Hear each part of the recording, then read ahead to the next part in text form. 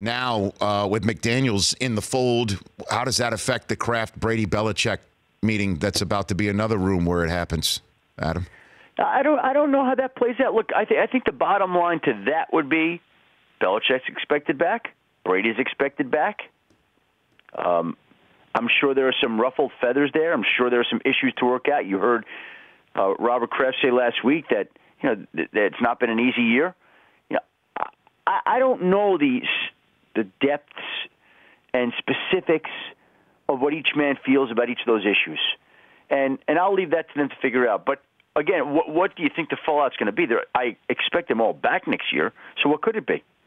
I know. Certain. Well, and that's why I thought first blush McDaniel staying is a way for Kraft to basically uh, say, "I've got the guy in waiting."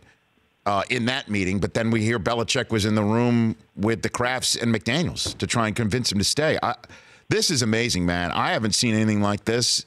Certainly for uh, a team at the at the pinnacle of the profession. Ballard says the rivalry's back on, and you know what everybody's saying that this is Deflategate revenge. Do you put any anything in that? Because to me, the Patriots want McDaniels back, regardless of which organization yeah. he was walking to anyway. Look, I, I think, Rich, I think that's the best way of saying it. Is that the Patriots knew that they needed Josh McDaniels. That they could have promoted Chad O'Shea to offensive coordinator, but they knew they were better off with Josh McDaniels as the offensive coordinator.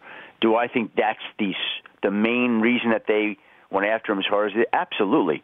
But do I think in the back of their minds that Kraft and Belichick aren't snickering, okay, that they're pleased that they did that. I'm sure that that is a passing thought. And similarly, in Indianapolis, if you watch Chris Ballard, who did a great job with that press conference, was spot on and his assessment, struck just the right tone, I thought. He was very diplomatic, very cordial, very assertive until the very last statement when he went, the rivalry is back on and walked off the stage. Now, that's the way to finish a press conference. Mike okay? Uh, so I think that – he's disappointed and irked that he lost his head coach at this time.